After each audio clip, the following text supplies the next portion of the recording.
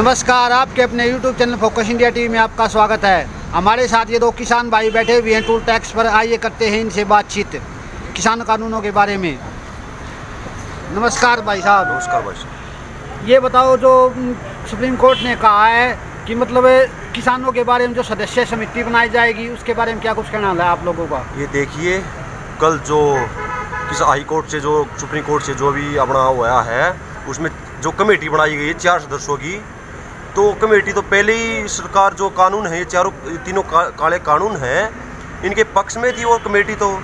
पहले ही जो तो इससे पक्ष में हाँ पहले ही डे- ये डेली अपने ट्वीट करते थे जो भी अपने सरकार के पक्ष में है तो सर, तीनों जो काले कानून हैं ये तो इनको बोल रहे हैं कि ये तो बढ़िया कानून है किसानों के भविष्य में काम आएँगे ये वो मतलब ये तो तीनों जो चारों कमेटी हैं जो सदस्य हैं हम इनको नकारते हैं हम इनका विरोध करते हैं हम इस कमेटी को नकारते हैं हम इस कमेटी का बहिष्कार करते हैं।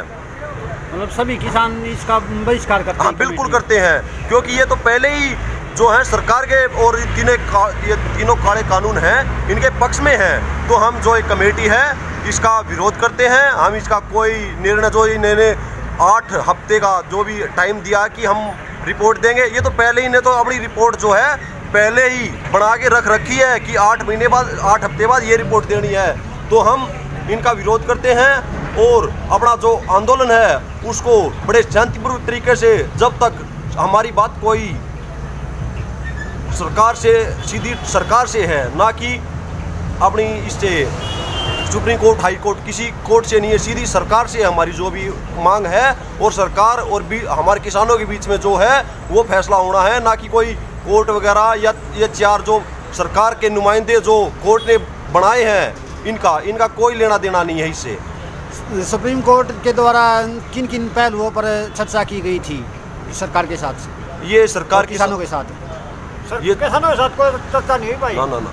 हाँ, किसानों के साथ चर्चा ना ये जो ये चारों जो ये हैं ये बनाए गए हैं इसके अध्यक्ष जो भी हैं ये देखिए ना तो किसी किसान ने हमारी जो कमेटी हैं जो हमारे संगठन में जो हमारे आग, आगे जो अगाऊ हैं उन उनकी तरफ़ से न तो इनको इनकी मांग की गई कि ये ये जो हैं चारों को इसमें नियुक्त किया जाए।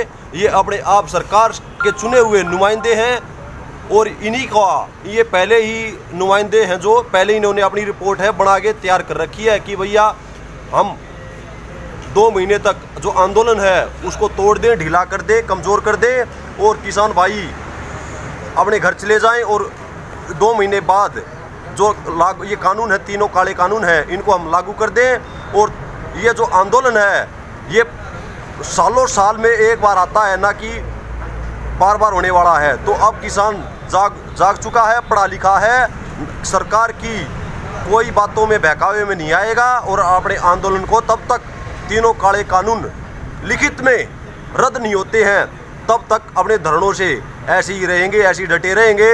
मी आओ आंधी आओ तूफ़ान आओ कुछ भी आओ। किसान एकता जिंदाबाद किसान अब पीछे वाला हटने वाला नहीं है। ये 20 दिसंबर से 1 जनवरी के बीच इन्होंने ट्वीट किया था। किसने ये ट्वीट किया था? ये जो बड़ा है कमेटी मेंबर चारू इन्होंने ट्वीट किया था 20 दिसंबर से 1 जनवरी के बीच में। इन्हें कहा था कानून बहुत अच्छे हैं। हाँ हाँ और ये कमेटी मेंबर बना दिए। किस लिए बनाए? किसी ने पूछी थी? अपना आप बना दिया सरकार का रवैया सरकार खातर बनाए कैसा ना खातर ना बना रखे? ना ना ना। स्पेशल सरकार के साहब बने हुए हैं ना सुप्रीम कोर्ट तो लगा ले रहेगा सुप्रीम कोर्ट भी सरकार का साथ दे रहा है इसमें पूरा। बिल्कुल दे रहा है। हाँ। छब्बीस जनवरी को क्या कुछ प्रोग्राम है आप लोगों का? चौबीस तारीख ट्रैक्टर पहुँचेंगे बायुरा चौबीस पच्चीस छब्बीस।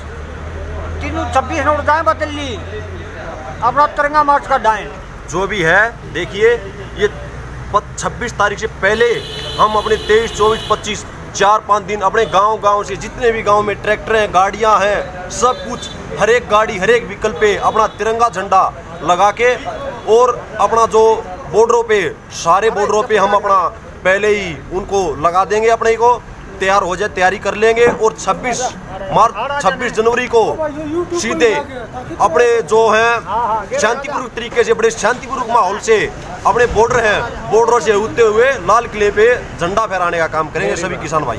हर एक ट्रैक्टर झंडा लाग जाए भाई।